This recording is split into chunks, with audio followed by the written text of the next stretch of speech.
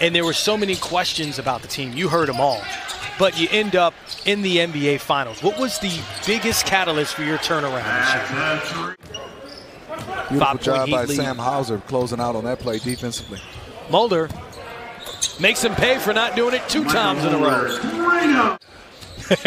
Is that what he said?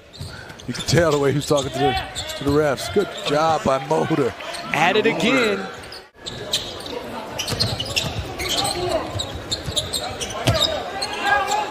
Mulder for three. Book it. Mychal Mulder. Minute 40 left. Mulder to the bucket and one. He knows how to score.